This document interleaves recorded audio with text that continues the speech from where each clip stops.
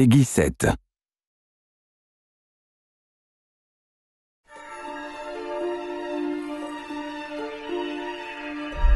In this tutorial, we'd like to introduce you to the diverse gameplay of the two factions and the different ways they sustain their energy supplies. Anno 2070 introduces two factions, the Ecos and the Tycoons. The Ecos opt for sustainability and are mindful of the nature surrounding them. The Tycoons desire efficiency and use proven technologies to accelerate their goals. These conflicting ideals generate a vast difference between the two factions.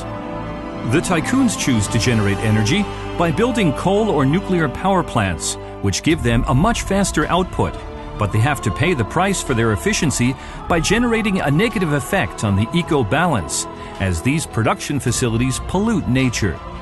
The ecos count on regenerative energy, such as plant producing green energy and wind or solar power. Their process of generating clean energy does not impact on the eco balance. However, the disadvantage to this approach is that they lack the efficiency of the tycoons, and they require much more space for their power plants to operate. The ecos have numerous tools which generate a positive impact on the eco balance. For example, the ozone generator is able to clean the air and cleanse the island from pollution. The tycoons have fewer opportunities to counter pollution, and the tools they have are not as efficient as the eco tools.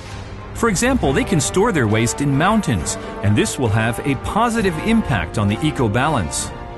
However, later in the game, the tycoons will also have the opportunity to use eco tools in order to free the island from pollution. For example, a river filter plant will be able to clean the water on a polluted tycoon island and will produce a positive effect on the eco balance. As you can see, the choice is yours. Choose your path. Build your future.